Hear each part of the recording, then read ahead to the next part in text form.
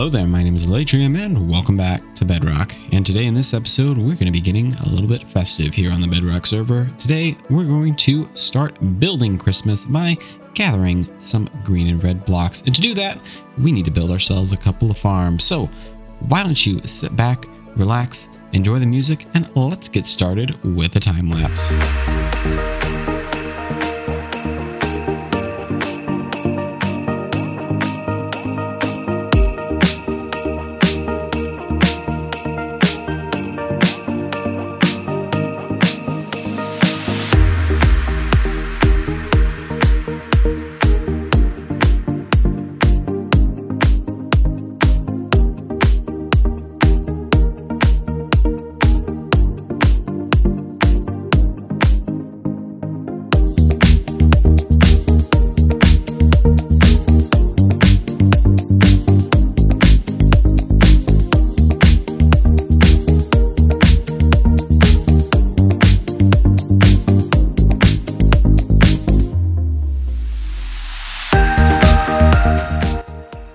One mega time lapse later, we have ourselves not one, but two farms now here in our industrial district producing some beautiful Christmas blocks. Red and green. We're going to call it red and green. I know it's kind of like a bluey green. I know it's not perfect, but it's Christmas. We're going to get as close as we can get. So this is my nether tree farm design. I will have a link for this down in the description. As you can see here, we are producing quite a lot of materials. I have these farms running in their automatic mode right now, just so that I can verify that's working. And for the most part, this seems to be doing the trick. So that one missed, but that one right there, that clicked out. We've got ourselves some nether trees growing fully automatically. No player involvement whatsoever. It's not the most efficient thing in the whole wide world, but it does produce. And we have plenty of bone meal to keep this very hungry monster fed. Just go ahead and check on over here real quick. I will say that if you need any of these like nether grasses or nether junk that's not these mushrooms, this is a fantastic little farm to uh, get those gathered in. You have to finagle it just a little bit to get the timings right and you know, sometimes you just don't get a mushroom that spawns on top of this, but that's okay. For the most part, this seems to be working just fine. We missed one right there, but that's okay. I think we just need to fiddle with the timings. But we now have ourselves plenty of nether trees, nether nylium, crimson wood, this is going to be great. I've been thinking for a long time, have I been sleeping on this type of wood as a type of building material? I don't know. In this episode, we're going to give it a shot and see if we can build something with this. And one quick deconstruction of two bunches of netherwood. We now have ourselves about maybe a third of a shulker. It's not a lot, but I think it will be enough for us to experiment with these blocks a little bit. I will say this farm gets really messy. Just look at the sides over there. They're just basically the entire farm is just covered up with stuff, but it doesn't interfere with it, so it seems to be working. I didn't get a lot of shroom lights, but I think we will be able to live with that. But got our armor back on because we're about to traverse back through the nether. And now we have a couple more Christmas materials that we need to gather and build. And what, what was that? That was a very weird graphical glitch right there. So we are going to head back to our main base where we are going to make ourselves some Christmas candles. And to make ourselves Christmas candles, we need two things. We need string, which I have gathered from our storage system, and we're going to need to dye them a combination of red and green. Now, to make green, we can finally use all of this cactus that we've been collecting. I have about two stacks right here. We're just going to pop them in our furnace array that we have right here. Swing around front to make sure that this is lit up. And this will start making us a whole bunch of green dye. I'm not sure why that one furnace is on. That's that's a little bit weird. Maybe stuff just dropped in there. So, bam, there we go. Looks like we've got most of that coming in. Give it just a couple more seconds for it to light up the rest. And see, there's some green dye right there. There we go. Now it's coming in real quick. All right, so we have our green dye. That's going to take a hot minute to finish up. So the next thing we need to do is grab ourselves some beeswax. I think beeswax is the right thing, right? Let's see. Oh yes, our farm has been working since I restocked the bees. Honeycomb. Honeycomb is what we need. So um, we'll just grab ourselves a couple stacks right here. basically, we're just going to convert all these down into candles. Um, I, yes, I need to repair this door because a zombie came in while I was AFKing, but I think four stacks of candles should be more than enough. Yeah, four stacks will be enough. Put the rest of our honeycomb back here real quick. And while we're waiting for our green dye to smelt up, we can come over here to our wool farm where we have all of our colors. And we need to be very, very quiet, just like Santa Claus is here on Christmas, because we don't want to wake any of our villagers. We are going to grab ourselves some of this beautiful green wool and not a lot of red wool. Here, red wool. Hmm.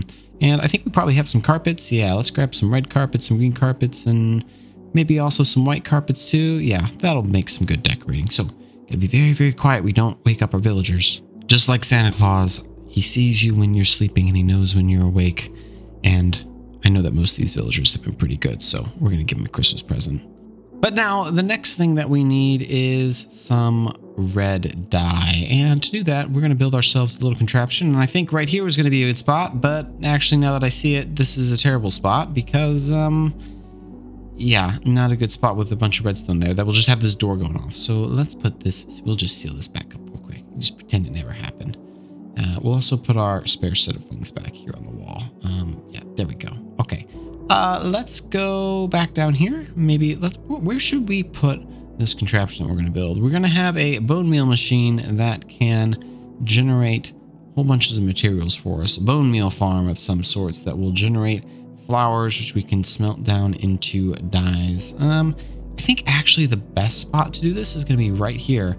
I don't have any concrete plans for this area, and and I don't think I'm going to anytime soon. So let's go ahead and build this real quick. And I've shown this farm before. It's very, very simple if I can build it correctly, which I haven't played Minecraft for maybe a week or so. So getting observers lined up. No, that's not right either. Um, I swear I know how to play this game. Um, that's not right. Well, we'll build up two here. Yeah, this will work. And we'll pop that down there. And we'll pop that. No, that's not right either. How did I? Nope. Okay, hold on. I swear I know what I'm doing. All right. Observer goes down. Yep. And then we get the top one right. And then we need to put the other face right down here. Uh, no. This is a lot easier to do in creative mode. All right. One more time. Nope. That's a piston. Ah, uh, where did my observer go? Okay. Hold on.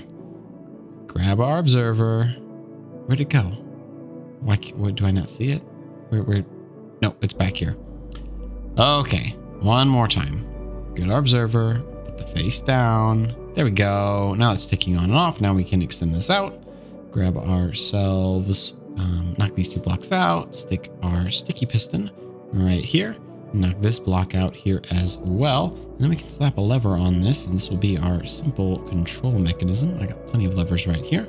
Just go boop and boop, and now that turns on and off. And then we just need to pop down a dispenser should be more than sufficient right here where this block is.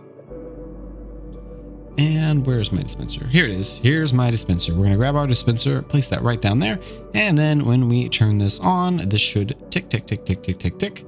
And we will now have ourselves a tree, moss, and flower farm. Very, very simple. Yep. Hear that clicking? Perfect. So, um, probably need some bone meal. Bone meal. Let's go down here to our storage system.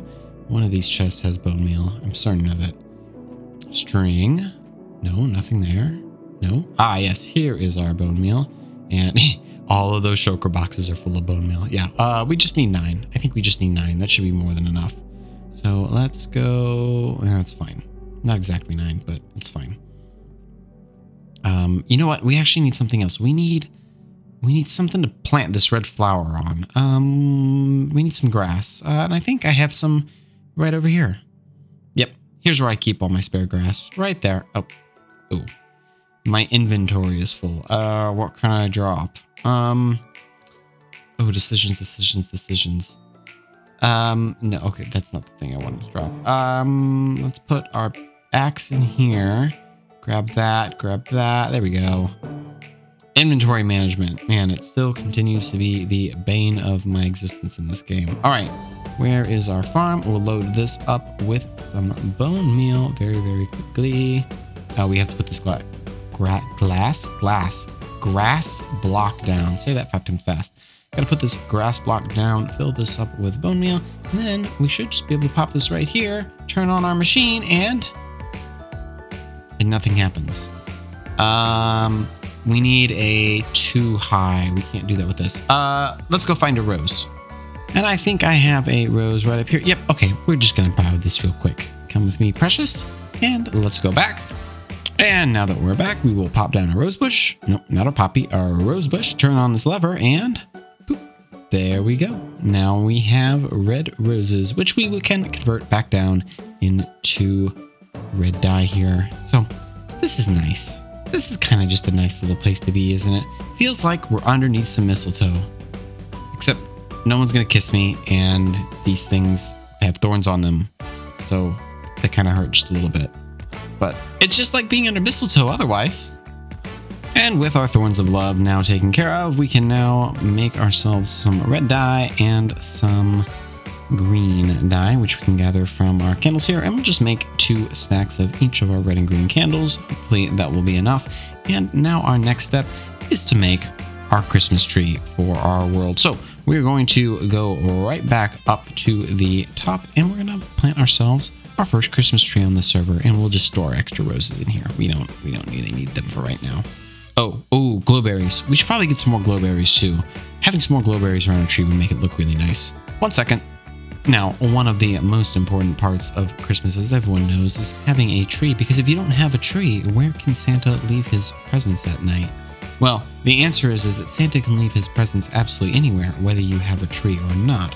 It's the spirit of Christmas that matters, not whether you have a tree or not. So, whether your tree is 20 feet tall, or whether it's only one foot tall, or whether you don't have a tree and you just have a stick and a twig, just like our dear friend Charlie Brown, Santa will still come for you because it's not the size of the tree that matters, or even whether you have one.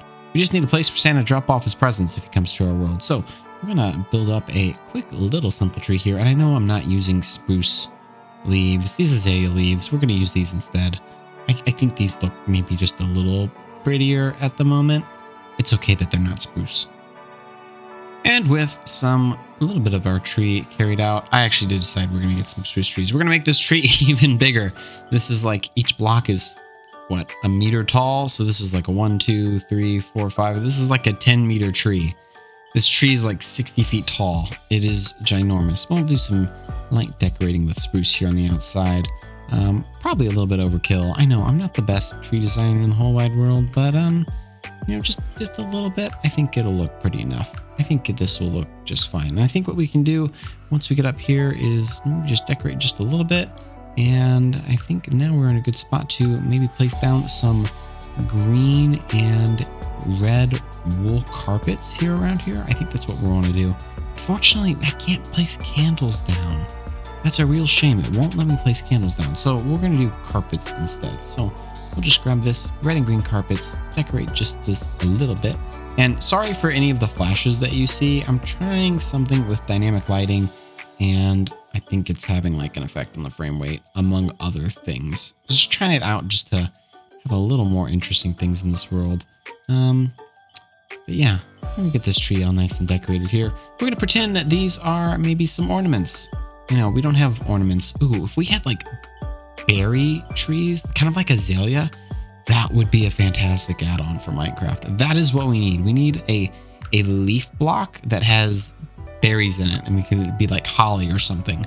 And then we could retexture that to our heart's content. But I think this is probably good here. Yeah, that's the dynamic lighting right there when we picked up that glowberry, how it got really bright. Yep, yep. Don't know if we're to keep that or not. But I'm just to come around here. Let's decorate the bottom of our tree just a little bit. Put some red and green floor tiling down. Make it look a little bit like a, a decorative tree skirt, maybe just a little bit. And then we're going to definitely be violating multiple fire codes.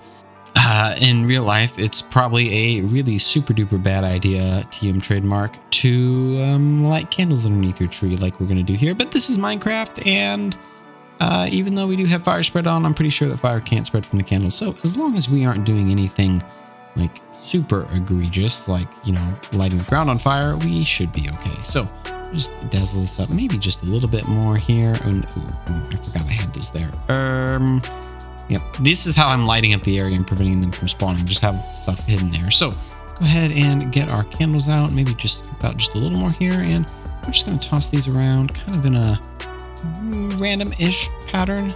Yep, this will look good. And then once we got a nice decoration of them, we'll go ahead and I'll light these all up with flint and steel that I will need to go grab from one of my other multiple storage systems somewhere on this server. And with all of our candles lit up, we now have ourselves our very beautiful, very simple, minimalist Christmas tree. I'm not I'm not gonna say that this is the best tree ever in Minecraft, but this is a pretty okay Christmas tree. I mean, that spruce in the background right there, yeah, that that's a Christmas tree. But you know, this th th this is pretty pretty for what we're doing right here. We just need a tree lit up so that Santa Claus can leave us some presents underneath the tree here. That's all that we're doing. But our next thing that we want to do in this episode before we close out is we need to build an actual build around here. I told you we built those two nether wood farms so that we could maybe try experimenting with them just a little bit. So why don't you sit back, relax, enjoy yet another time lapse for this episode, and let's get started with a build time lapse.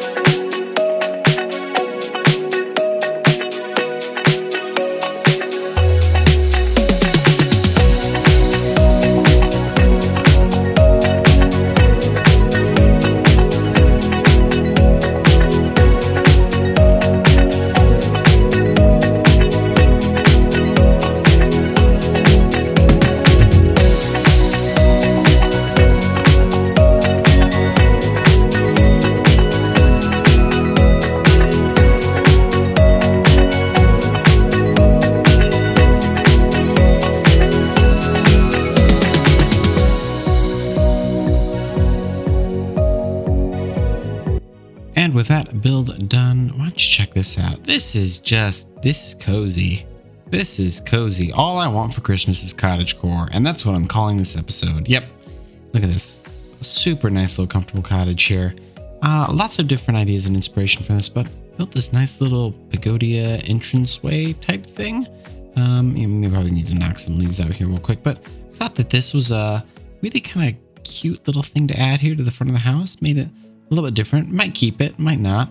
Also, over here, you can tell I've been on a little bit of a Pinterest craze because um, check out this water well. Yeah, this is this is fancy and kind of cute and nice too, isn't it? Though, um, I will say, if I was gonna make one change to it, I'd probably, um, you know, actually make this water, you know, an infinite water source so that we could pull water out of it. Because, um, yeah, not super practical right now, but cute nonetheless. Very cute nonetheless. But let's go ahead maybe and take a look over here at the house. Like I said, lots of different ideas that was mucking around with this. And have I been sleeping on this nylium wood? Like, this is gorgeous. I, I don't know why I haven't taken advantage of this before. Not, not my favorite block, but I, I really do like it. And over here, got some interesting designs going over here. Trying something with diorite. I know, controversial move for sure, but I think in maybe little doses right here, especially when mixed in with some green. Very, very pretty. Uh, over here, we kind of got our standard, you know, circular thingy that we got going on here. Got a little balcony up there that I've kind of closed off. And then, you know, a nice little cute tower. Again, trying something a little bit different over here. You can tell, oh, I've been doing something I don't like doing. Look at that. that that's wool. That's wool right there. I'm using white wool and, and gray wool. And, oh, uh, it textures nice, but I don't like using it. I I don't like using wool. It's it's like super duper weird to me to have like one, two, three, four, five, six, seven, like eight to ten meters of stone on top of wool. it, it doesn't drive right with me. But you know, got a nice pretty tower over here, and ooh, ooh, there's some phantoms. Uh, probably need to get inside real quick. Um, yeah, let's take a look inside. don't judge me. I ran out of time. It's it's it's literally the night before, and I sorry, this is all the time we have, but got a nice little chimney there for Santa Claus to come down. Hopefully he comes and leaves us some presents, even though our base isn't quite finished. But nice and pretty up here. I I love this this wood. This nether wood when it's broken up like this in this texture pack just looks mm, chef kiss. But I did I did get some stuff done up here. Um, very nice, pretty, very nice, simple bedrooms. Got one bedroom here, a nice little cozy small bedroom right here as well. Try to keep these really simple. Um, nice, beautiful kind of textured pattern wall here with barrels behind them. And then, of course, every house needs an enchanting table. And I, you know, just makes this place a little bit magical. But mm, this blue wood, this blue wood makes it really magical. So, yeah, definitely. All I want for Christmas is cottage core. Yeah, maybe Santa will help me decorate the inside of this. But yeah, look at this. I, I just, I love this. This is just so adorable and cute.